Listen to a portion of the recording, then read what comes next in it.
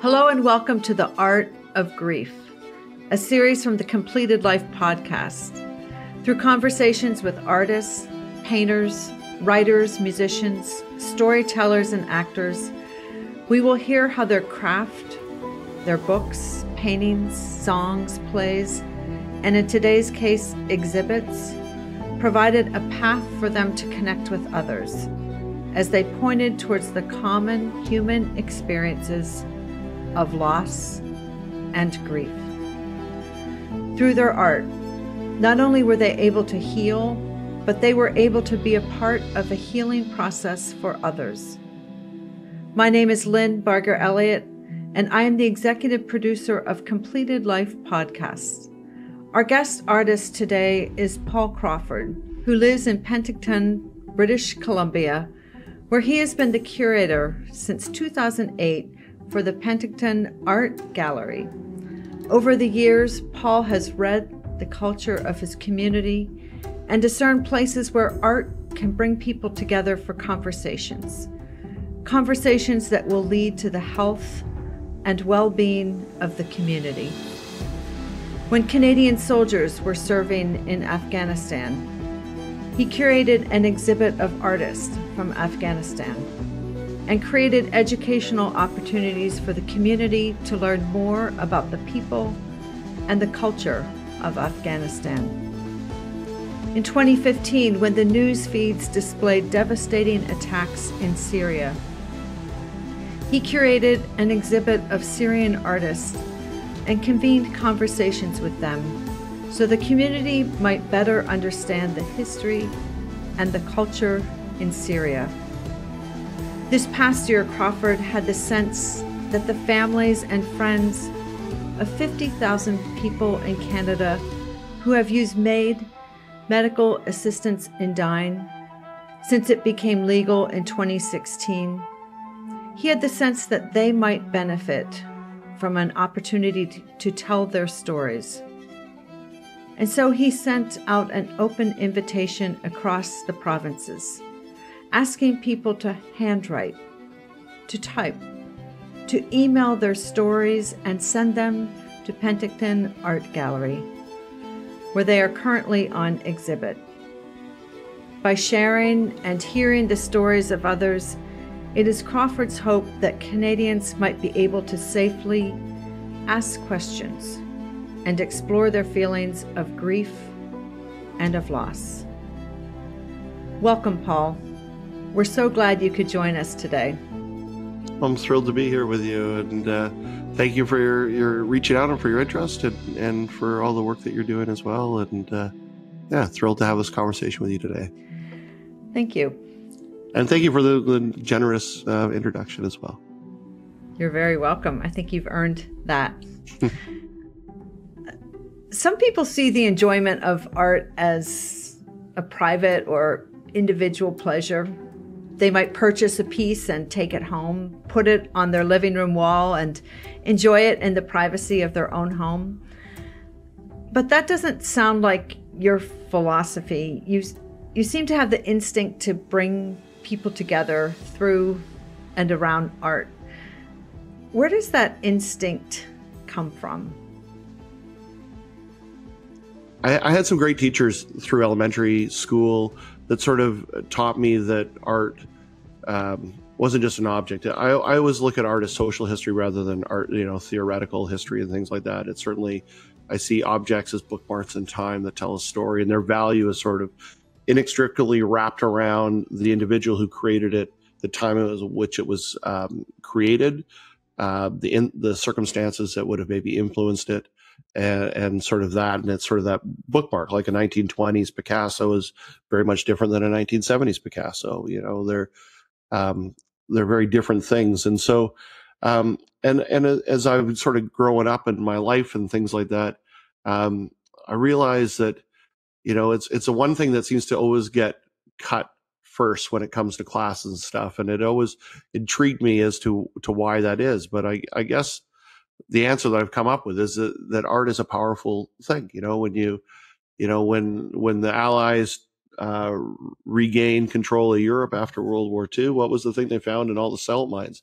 you know, when a company, when a country invades another one, the first thing they do is steal all the art, try and destroy the culture. You know, that's a, a very powerful thing. You know, sports are great for nation building and for that that sense of things, but art is a much deeper, richer thing. And and certainly like music, there isn't a there isn't a, a human alive on the planet, whether you're a monk in a mountain, uh, all by yourself that spent the last 50 years of your life alone that does not have a musical soundtrack to their lives, you know, and, uh, you know, when, when we're all at our lowest point, we're not reaching for the greatest, latest piece of legislation that your local town council passed on the dog bylaw or something like that. You're reaching for a piece of music or a book or something that can either, you know, raise you up to your highest highs or tear you down into, you know, and, into, you know, and, and emotionally and everything else. And so, art for me has always been something that's been really remarkable, and I've always been really um, deeply aware of. You know, at least in my later life, um, in my twenties and stuff, became int- really aware of the power of art and the importance of art in culture and in our lives. And um, in my role here at the gallery, I, I think it's really important to not all our shows, but I think it's important to provide a platform for these discussions. And so, you know, the MAID in Canada exhibition is just one of those examples of, of providing a space and, and trusting in the process and hoping that through it all, um, something positive will come out of it, you know, and, uh, I'll be honest, the three shows I have on now are sort of dealing with mental health and the MAID program was something I've been thinking about for a long time, but uh, was really prompted by the potentiality that was there uh, that uh, mental health as a sole underlying uh, condition would have been legalized under the MAID uh, medical, uh, medical assistance in dying program, and that would have taken that would have come into law. Uh, was supposed to come into law like a week before our exhibition opened, and so looking at the fact that we were doing a mental health show, uh, looking at a friend of mine that went through the MAID program last year, sort of got around the system, but largely due to mental health reasons, um, really sort of prompted me wanting to to bring this part of the conversation to it all. And that the, the Canadian government um, delayed the the inclusion of mental health as a sole underlying uh, factor into the MAID program for another two years or three years, I think it is. Uh, so it sort of came off the table, but I'd already sort of got into it, and so um, yeah, and it opened up a whole bunch of conversations that I. I guess I had thought about, but hadn't really considered. And we have uh, on our board, we have uh, um, uh, um, a disability activist, and, and, and she is very active in the community. And um, that was my first real hurdle was sort of uh, bringing it up to her and sort of having a and I having a imposing upon her what I thought her her view on this would be. Mm-hmm. And then um, a nice way to say that. Yeah, and uh, it's an honest she, way to say that.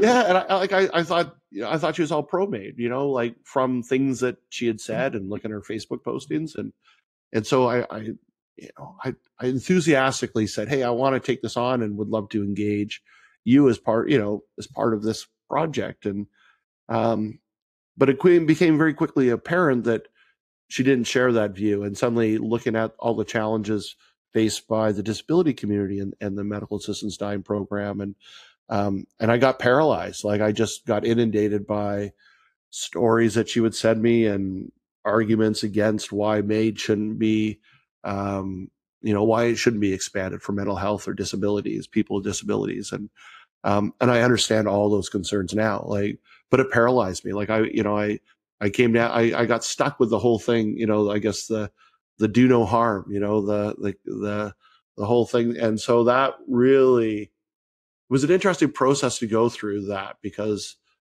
um like i you know i for me it's always about just I get an idea and I just go with it. And, uh, and it's usually easier that way and things generally tend to work out better. Um, but this was an interesting one because I never actually, uh, had that sort of pushback. And it wasn't that she was pushing back, uh, but she had great concerns after in, initially being very enthusiastic about the exhibition as we had conversations. I, maybe she had an opinion that I was uh, pushing an agenda uh, that maybe didn't align with hers. Um, and I tried to explain to her, I'm not pro MAID, I'm not anti MAID. Um, I'm open to all ends of it. And I'm also under appreciate the fact that everybody's view on this subject will change as their life circumstances change or the circumstances of the people around them change. Um, And so I didn't want to come into it with any preconceived notions or an agenda or an opinion. I wanted to just be open to hearing all the sides of the story and creating a, a, a safe space where we could express our feelings on this. And, uh, you know, and I, I, you know, I've, I've known 20 people, I think, um, that have gone through the MAID program here in the last three years. Like it's shocking. And, you know, here in Canada, over 60,000 people since 2016 have gone through the MAID program.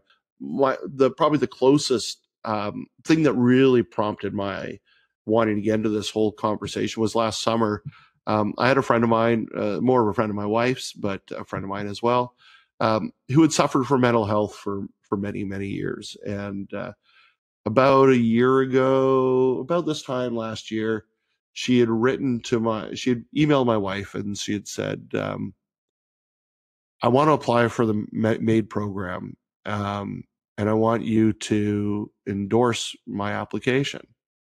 Which was really an interesting thing. So we hadn't really been there, and you know, she's in her 40s. She was like 40, 46. And, uh, and she was quite clear that it was struggling with the mental health. The mental health was the predominant driving factor that she couldn't, she couldn't continue, imagine a life continuing on to the quality of life that she was living with the mental health that she, issues that she constantly had. And no, no matter how much, there wasn't enough resources in our local medical system in terms of psychiatry and everything else to, to give her the resources that she needed. And every time that she got the resources or something happened, inevitably it seemed to go sideways very quickly. Like it would be a great thing. And, and so it was, you know, she was very clear that that was what the reason was. And then she got denied originally because under the Canadian law at that time, mental health was not a, an underlying factor that you could go through MAID. And so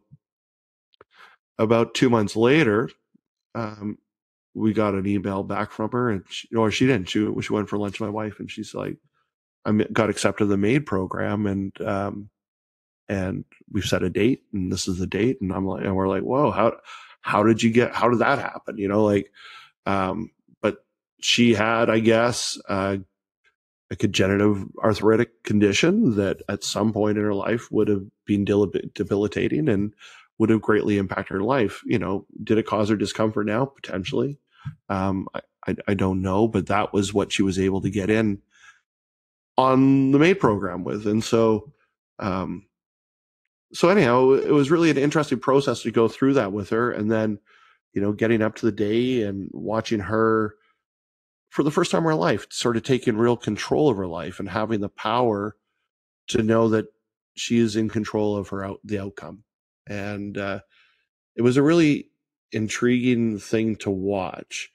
Um, but you know, in your mind, you're thinking, okay, this isn't going to continue on like this, right? And um, and then she invited friends and family. Some from New York actually came out for a final weekend celebration and and dinner and being you know that mental health is the thing she was like on a high she was on one of those highs that night and we said goodnight and the next day we all met she had it was sort of like theater. She had she had really planned everything out. She's a yoga teacher, and so she had arranged um, to have the the the the whole thing take place in a funeral home. Uh, had allowed everybody to sort of get into meditative poses. Made a soundtrack, and and so you know through it all, the things that really sort of resonated with me at the end of it all was was you know in one way I'm grateful that she had that moment and and um, she was able to take control of things.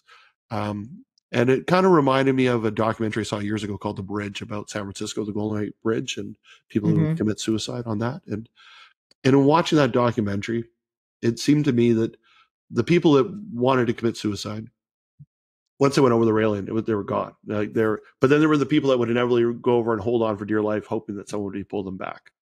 Some of those mm-hmm. people would fall off, and but what I really got out of that was, and, and what I got from Carrie, sort of, which really sort of brought that back into my mind was like she was truly, for the first time in my life, in absolute control of what was going to happen. And, um, and I think that brought her great comfort. And it's interesting in talking to other people since this show's been up who have signed up for MAID for whatever conditions or, or things are that are sort of in a holding pattern. They haven't set a date, but are there. It has extended their life and quality of life, knowing that they at any time have that option to take control of their destiny. And I think uh, being accepted in there into that program and knowing that you have an out has also allowed them the ability to release and let go themselves. And uh, so it, it's a fun, it's a, it's an interesting thing. I, and I've been really moved and touched and brought to tears with the stories of people that confided in me about, you know, their own, uh, you know, having that, having that, that get out of jail card in their wallet, mm-hmm. you know, that they mm-hmm. could cash in and, and the reasoning why they do it. And, you know, even with the great objections from families and stuff, we're not even telling their family that this is what their wishes are, you know, for fear of shame and stuff. And, um, it is, it's a very complicated, nuanced subject. And I don't think there are any right answers, you know, um, everybody has an opinion. And as I said, I think everybody's opinion and view on this subject will change as their own life circumstances change. And, uh, and I think we just we don't deal with death in general very well in our society here. Um, so I think that's probably a good place to start. Um, yeah. Yeah. So it's been remarkable as an exhibition. It hasn't.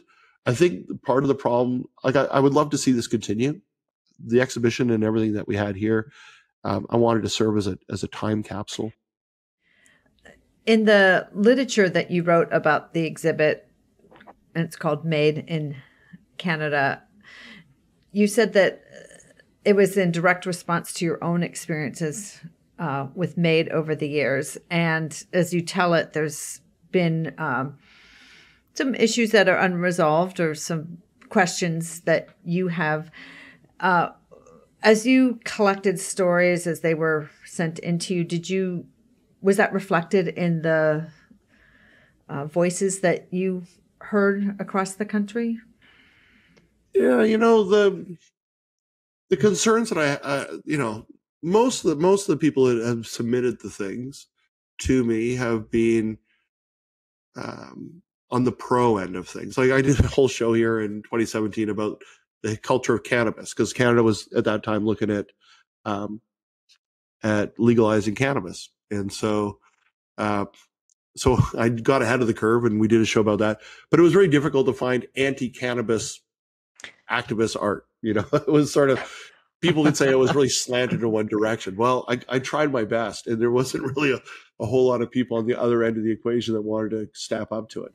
Oh. And so the conversations that I've been having with people sort of revolve around those. But for the people that have signed up to MAID, and in my own sort of trying to understand as to you know why you would why is this something that you would want and and a lot of the people who i've had the conversations with are not unlike my friend carrie they're at this point in their lives are healthy. Some are elderly.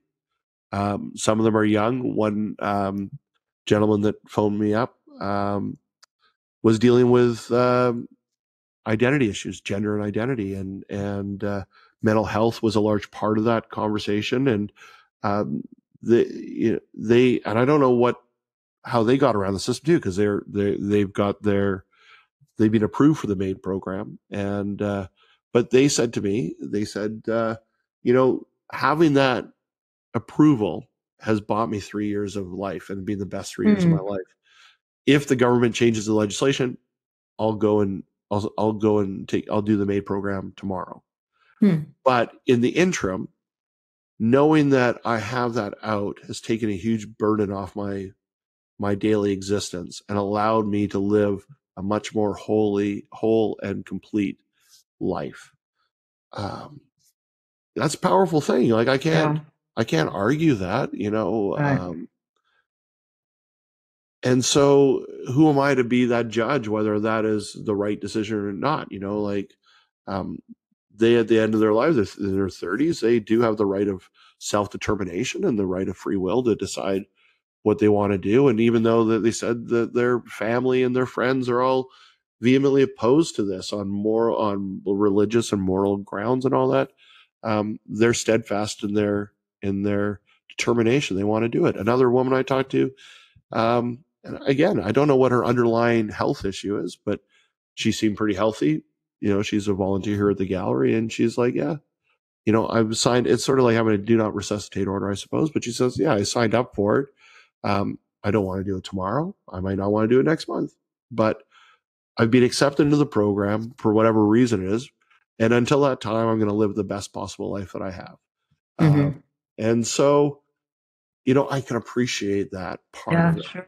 Um, and yeah, like, uh, you know, and who am I to, to tell that individual that they have, they don't have the right to do it or not? I, you know, um, yeah, that's part of the whole thing yeah. that I'm trying to discover with this process, you know, and, and the more I talk to people and the, you know, and especially those people that are truly at the end of their lives, um, you know, who, who, uh, who go through the program, it is, you know, it, it's a great relief to everybody. And you know what? We could all be so blessed in our lives to be able to tie up all the loose mm-hmm. ends, you know, and say the things we need to say and take some sort of control over things like that. I think that's there is a certain yeah. beauty and a power to that, you know. And if I ever find myself in that situation, I think I'll just at the last minute just sort of say, "Oh, I forgot about the key to the safe deposit box is left." then, oh, right. you know, leave people so wondering. When, leave, yeah. Right. So when you imagined or were developing the idea for this uh, exhibit, you were thinking about uh, those loved ones, the family and friends of uh, those who had used MAID, and you uh, extended an invitation to people to uh, handwrite, to typewrite, to email a letter to be displayed at the gallery as part of the exhibit. What kind of response have you received? Um, well, this is one of those funny things. The reason I asked for the handwritten letter was I wanted the human element to it, right? I wanted, I wanted, because everybody, you know, Chat GPT. If if you were if you had a certain viewpoint that you wanted to to get across, you could just pump out as a million letters through Chat GPT that would certainly bolster your your your view on this, pro, negative, or indifferent. and so I, I really wanted just that human element to it. That this is actually a letter by a real person who's taken the time and the thought to do it. Um, that, that but funnily enough, there's always going to be somebody who's going to challenge that, and and I hadn't even thought about it again. Back to the the the quadriplegic that I the person mm-hmm. that I spoke to. I can't write it. I'm like, oh, I hadn't even thought about that. You know, like it hadn't even occurred to me that, of course, there's a there's a, a large bunch of the population that might have a valuable thing to add to this conversation that might not be physically able to write a letter you know, handwrite a letter through whatever thing, whether you're elderly, maybe you got a bad arthritis or, and so, so then I'm like, okay, you can send me an email. Um, and, and so it did open it up. Did anybody typewrite a letter? Oh, we did. No, no, I don't have any t- typewritten ones. Uh, uh, no, just emails and, uh, and handwritten ones. If, if I could do it again, I, you know, I, like I said, the, my one board member, uh, really paralyzed me. Um, so with this show, uh, one of the other shows I have was on mental health as well, and and that became an overwhelming thing too because I had an, another guest curator that I was working with on that show, and um, and so it became a lot to take on. You know, like it was this perfect storm. We have a festival that was running concurrent as well, so I had too many balls in the air, and just that idea of do no harm really started to bog me down and i and i um i would love to re- i would love to revisit this exhibition or i would love somebody else to revisit this and really give it the runway that it needs to lead up to really flesh out or get the word out to get people's opinions in it and uh and yeah and it's so funny because yeah just this board member they were giving me one perspective and they were saying, well, you can't go to this organization, you can't get this one because they're they're pushing an agenda. And I just, like I said, I this and amongst everything else that was going on at the time just totally paralyzed me. And I just, I went, you know, and it, I wish I had, um, I'd love to take that time back to reach out to all those things, you know, don't really, you know, not have gotten bogged down so much by her fearing that I was trying to push an agenda when really I was just trying to have a conversation. And you got to have all ends of it. You know, like I don't care if you are a super right uh, evangelical Christian, pro life, organization that says this is the worst thing you could possibly do, I would love to hear your opinion. I'd love to understand why that is. Or if you're the totally liberal, let's, you know, everybody has the right to do whatever they want, no matter what your age is. Like if you want to die tomorrow, perfect. We can sign you up and do this. I'd love to understand what your thinking is of that as well, right? And I'd love to hear of the people that are left behind, that are in between this whole thing, that are left wondering what, how this is going on. You know, like what is this all about? You know, um, so I kind of feel like I kind of missed a little bit out on the broadness of the conversation because I got caught up too much in not wanting to as I said, do no harm. You know, that was the part of it. But what's come out of it has been remarkable and incredibly touching, wonderfully moving, uh, enriching and and emotionally draining and uplifting at the same time. Like it's it is only deepened my desire to explore this in greater detail or hand it off to somebody else to try to create um, you know, if this can be a catalyst for another exhibition somewhere else, you know, I don't necessarily need to do it myself. And I'm sure there's lots of people who could do it far better than I could. Um, but I do think it's an important conversation. And I think it's much deeper than just the right to die or not to die. I think it really looks at society and our values and our understanding and our uh, acceptance of death and end of life in general but just our own sense of connection and community. And, you know, could some of these problems, some of the concerns that people have be solved if we just had a much more connected, compassionate, and empathetic society in general? Like, like how do we how do we just become more compassionate, compare, caring, and understanding? And um, did that? Did you get a sense that people walked away with that question when they read the stories that were collected? I think so. You know, it's been interesting because I, I, so basically I, I, I had a wall of remembrance because I, I went to Burning Man a number of years ago and going to the temple and seeing all the photos and the stories. That was really quite moving to, to see that and the powerful impact of that. I, so I tried to put that up here and I haven't had much uptake on that, but, but everything else was put into binders and uh, on tables facing the wall. And uh, I just wanted people to be able to have moments of quiet self reflection to to read through the letters, read through um, the news articles around it, uh, understand the history of it. If you want to know what the MAID process application form is, here it is.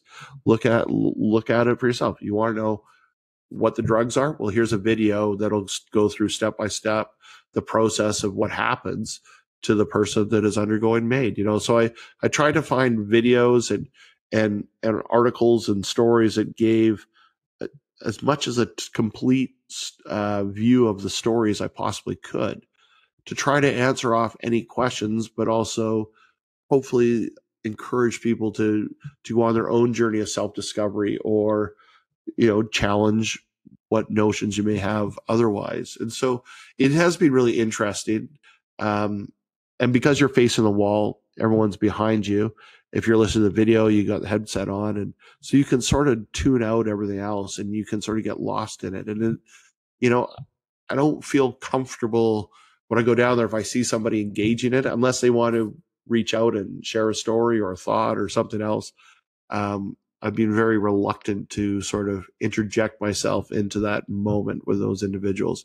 But it's been great to to engage those people that have sort of reached out um, to me after the fact or as a result of it and and sort of have that sort of debrief and get a, an understanding of where they were when they came in where they are upon leaving and if something has shifted or not and like i said there's no wrong answers have have your your view um, one way or the other like i'm not i'm not here to judge you on how you how you view this. So it's, um, yeah, I, I, th- I think at the end of the day, at the heart of it all, I think everybody just wants the best interest of those that you care and love, you know, and, and want to be compassionate. Um, I think we have a fascination of hanging on to people hanging on to life far beyond their expiry date uh, for fear of letting go or giving up. at great personal um, detriment. You know, just because you loved grandma doesn't mean that grandma needs to, you know, be resuscitated for the sixth time from a heart attack and left on a life support system that really is no quality of life, you know, just because you don't want to let go of her. Um, I think at the core of it all, we just need to sort of be able to let go and be, be good that there is this transition and what lies beyond, none of us will know until we get there. Were there themes that you were able to pick up in people's letters or responses to you, things that they submitted? You know, I wish, you know, I, I haven't really thought about that. I, the, I think for the people that were sort of pro, the, the, the main thing was just coming to terms with the, with the, with the life that, uh, the person that they let go. Um, and the beauty in that moment of, you know, I, I think a completed life. There you go. I think that's it. You know, be able to put a full stop on the end of it in terms that are that you have control over and uh and you know maybe there, there's there'll always be things that are left unsaid. There'll always be emotions that are you know and chapters that are left unread or incomplete. But um if you're if you're if you're getting to that point in your life this is you know something that i i think is kind of a compassionate um way for someone to exit gracefully, but also for all those around that individual to maybe try to come to um, come to you know the resolution of a life well lived you mm-hmm. know and um, yeah I, I think for those people that and and these are most of pe- mostly from the people that have had people who are like terminal um, I think they they felt that the general consensus is once you get past the shock of it and you go through it, there is a beauty to it and a certain sense of peace that you can go to bed with. Um, so, storytelling uh, is considered an art, an art form. From your perspective, how was this uh, how are these conversations different than say like a book discussion or um, people coming together to uh, talk about a presentation on MAID. How was hearing people's stories uh, different? How did that impact your audiences differently than uh, maybe like a documentary or something uh, academic study of MAID would have?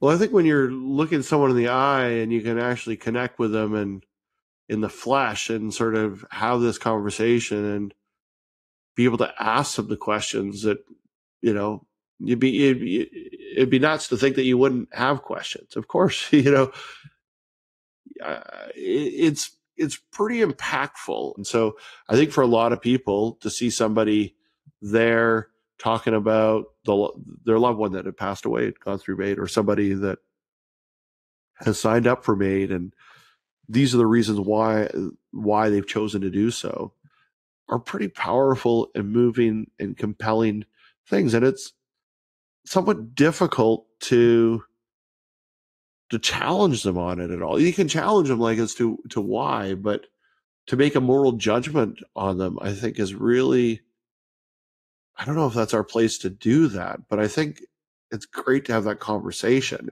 And if you should be challenging anybody's moral judgment, maybe it should be your own, you know, like holding a mirror up to yourself as to why do I feel this or why do I judge you for making that decision, you know, um, rather than listening to their to their life story. And I stories are everything. Like that's the one thing MAID is. It is a, all about the stories. And you know, I think most people that have given it some time haven't certainly if you came in anti-MAID, I don't think it the exhibition has in any way enhanced their sense of being anti-MAID if you came in very pro MAID, I don't think it has in any way made you um, that much stronger of an advocate for MAID. I think the people that have spent the time to read the letters have probably ended up ending up being a little bit more compassionate to each individual story and circumstances. And if they reflect, do any self reflection on their own life experience and the people around them, maybe a little more understanding as to why people may make those decisions. And maybe in some way, um, if faced with that decision of by a loved one, becoming a little bit more compassionate and understanding and empathetic as to why the decisions that they are making it and not making it so much about your own needs, but respecting their needs. Beautiful.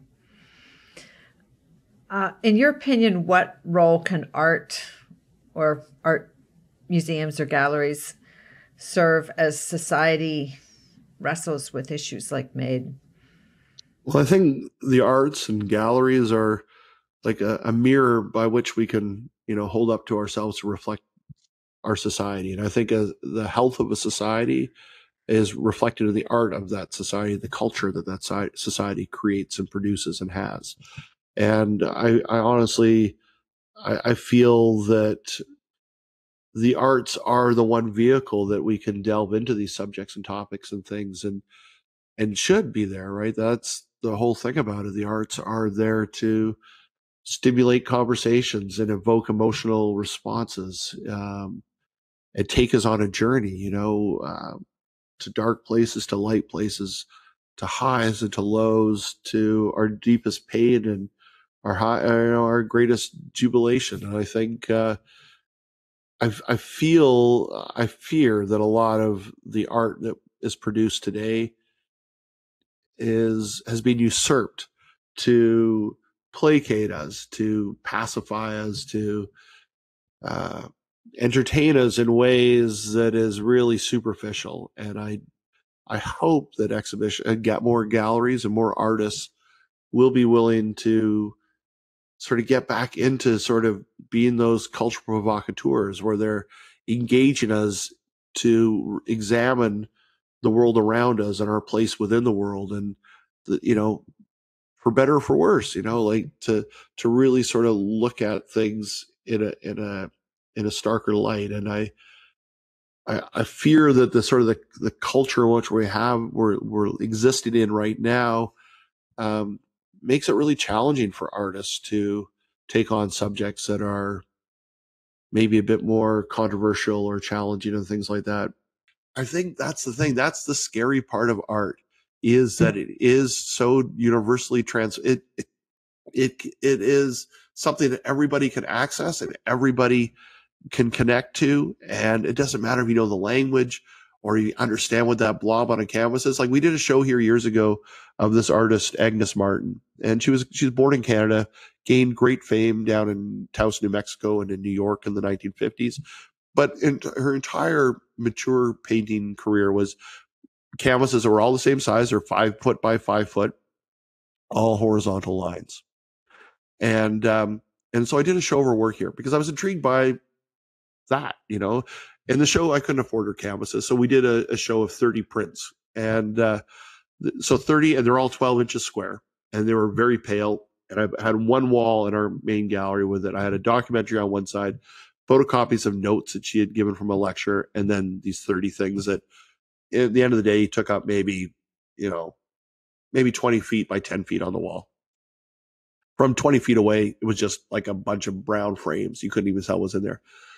But the thing that amazed me was once you put people in there and you allowed them that opportunity to go up and just spend some time with it, is how many people would come out just shocked, you know, like for like, and it was interesting. It was mostly women would have this experience, but I'd, I'd come out and people would be all red eyed and teary and, and they would be standing in front of this thing. And maybe it was hearing her life story on the video behind them, but standing that moment of quiet con- um, self reflection in front of these 30, 12 inch square drawings of horizontal lines of various thicknesses and hues and everything else, uh, but pretty much monochromatic and very much very subtly painted in that.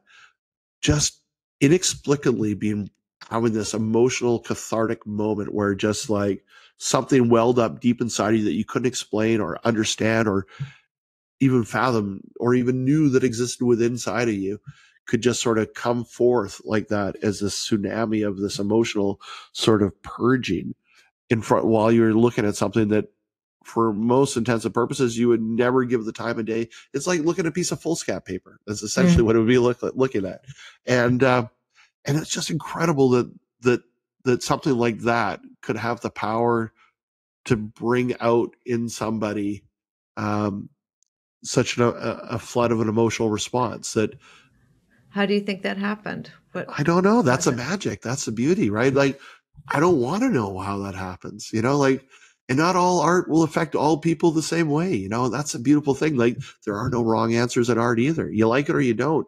You know, just be open to the experience and and see where it might take you. You know, that's the thing. Like, I think we've done this incredible job in this industry of the art, visual arts, and eh, I'm sort of creating this separation between us and them like you need the special power or understanding or knowledge or this key to the kingdom to understand why, you know, 12 lines on a piece of paper is of significance. Yeah, I agree.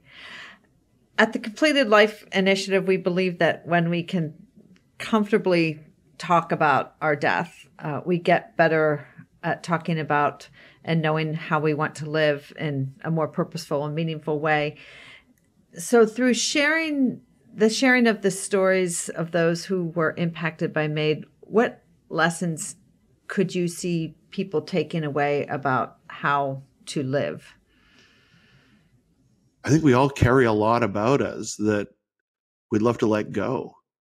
And, you know, and sometimes just saying it is one of those things or just acknowledging that it existed, you know. Um, I think we we live in a, a society that's really shame based. Like I think shame and guilt and everything else is a powerful tool, and I think it's something that hinders our personal growth and our ability to to be to be our fullest selves. And I just yeah, just I hadn't even thought about this until you brought it up. But if I think about the people that I did, I think the greatest disrespect I did to or disservice I did to myself and in times of coming to terms with it if, if i didn't if i if i had challenges and maybe to them was you know not trusting that they would be willing to engage in some of those conversations that were always left unsaid that were sort of lurked in the shadows but we never really got into you know mm-hmm. or you know i look at i look at my father he didn't die from MAID but i just think about that you know like how many of us have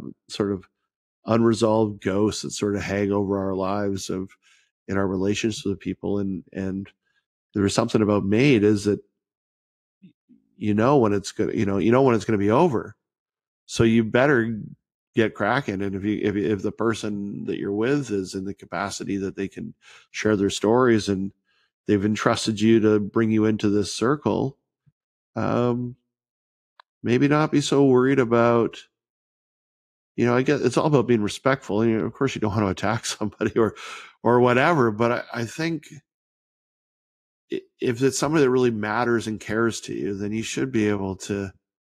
I think that would all help us a lot to try to let go of those things, you know, um, or find those answers to those things that we always wanted to know.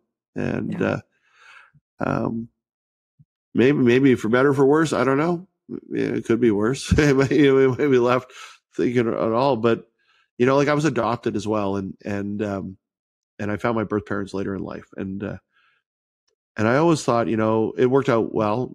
We all got along and all that, but you know, even if it had turned out poorly, at least then I would have I would have never been left wondering, you know, like what they were like or if they cared or anything, right? And um, and I do think in, in passing, a large part of our problem is all the unknown, unresolved things that we have that hold us back, you know, in our own lives, you know, or maybe don't allow us to celebrate or honor or let go of the person that we need to let go of. You know, it's, you know, it's grief is never an easy thing and we don't do well with it. And I'm sure when I'm confronted with it in the next in the next time in a real when it, impactful way, I hope I'll be in a position that I can deal with it admirably and and well. Then I you know I haven't um, I haven't found myself in a situation where I've you know had my whole world fall out from underneath of me. Knock on wood, but eventually I will find myself in that situation, and we all will. And I hope a that we have a good community to support us as we go through that. But I also hope that we also are able to sort of through our life experiences sort of realize that you know find a way to deal with grief in general is a better thing and not be shamed by by grief. And um and better to cope deal with people that are going through grief you know like like everybody's going to grieve differently and some people want interaction some people don't want any but but people still i think want to know that that you're present you know that there's that there is someone there whether it's just phoning them up and not talking to you but just hearing someone breathing out of the other end of the phone you know it doesn't really matter what it is. Um, but i do feel that I, I, I feel we need to be a much more connected, uh, meaningfully connected community. And, and that's not thinking that a Facebook friend is being a connection or liking someone's like. It's about actually connecting with people in a, in a tangible, meaningful way. And, and I think the MAID program is one way of opening the door to that greater sense of connection. Um,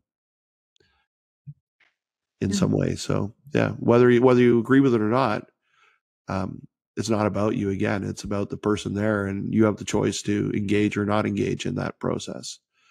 Um, and both options that you choose are going to have impacts on your life moving forward. Yeah, and you Good. need to make that decision of what's the cost of the stance that you make, and what are you willing to to live with as a result of that that decision you make. You had hopes and goals for this exhibit. And I know there's so much more that you talked about that you could have done, but overall, do you think you met your goals? Um, I do. I, I, you know, at the end of the day, if I have any, if I had any disappointment, my disappointment was the fact that I, uh, you know, of course, you always hope things could be bigger and greater and and deeper the fact that I'm sitting here with you right now is a victory in so many ways. You know, I would have never had the opportunity to to meet you otherwise. I've thoroughly enjoyed learning about you and and the project you worked with and having this conversation with you today. And um, I think I've been pretty long winded, and I apologize for that. But uh, but I I you know in every only wisdom, only wisdom. Well, in every in every way, it's been a victory, and the fact that you know, at the end of the day, if only one person came and saw the show and walked away with an aha moment or a greater sense of inner peace or understanding or what have you, whatever, whatever they came away with, and that's a victory in itself. You know, I know people are arguing, oh, you're normalizing this and all that other stuff. And it's like, well, it is a fact of our society. 60,000 people in Canada have normalized it long before I took this topic on. Um, so um, we need to accept that it exists and we need to be able to talk about it and we need to be able to not pass uh, judgment on those that choose to this is their option and uh, yeah so yeah I, th- I think there's way there's, there's, it's a very deep well this is and mm. uh, there'll never be a definitive answer uh, to it. But I think there's lots of incredible conversations that are yet to be had. Um, lots of cr- incredible opportunities for public engagement and deep, meaningful um, insights that can come out of this process. And I think the work that you're doing and your podcast is providing space for some of these conversations. And uh, and yeah, I th- I think I think there's so much. I think we're just even though there's 60,000 people here in Canada that have gone through the MAID program, I think we're just at the tip of the iceberg in terms of our full understanding of the social implications that this is going to have on our society. and um, and um, it'll be interesting to see how that all that all plays out as time goes on, and and how we evolve to deal with this reality that exists, and uh, and what we can do to try to make it um, less stigmatized. Um, and yeah, how can we how how can we I don't know. I don't know. It'll be it'll be really interesting just to sort of see see how it all works out.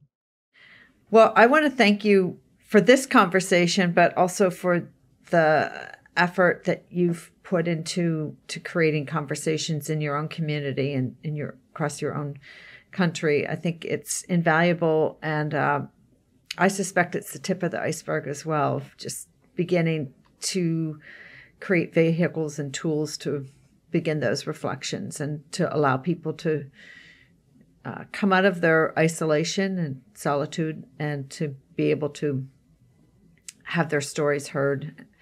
It's very powerful, and uh, I think uh, I, for one, am grateful, and I know I'm confident others are as well. So thank you.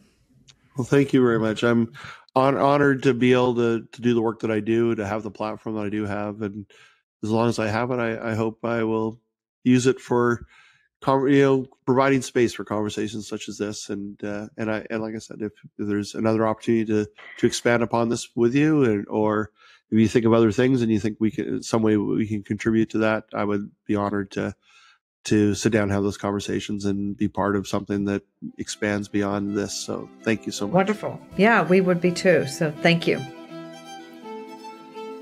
Thank you for joining us for this episode of The Art of Grief with Paul Crawford, curator of the Penticton Gallery in Penticton, British Columbia. To learn more about this exhibit and others mentioned in this interview, we encourage you to visit the gallery's website at pentictonartgallery.com. That's P E N T I C T O N artgallery.com. And thank you to Jed Olbaum, the sound editor for The Art of Grief, a completed life podcast.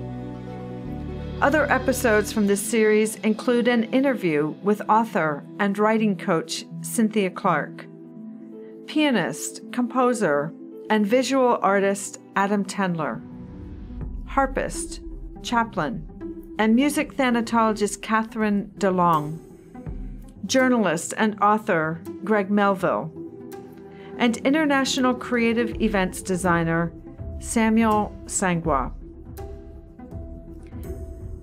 You can find these episodes as well as other Completed Life podcasts on our website, completedlife.org, or by going to the Completed Life Initiative YouTube channel.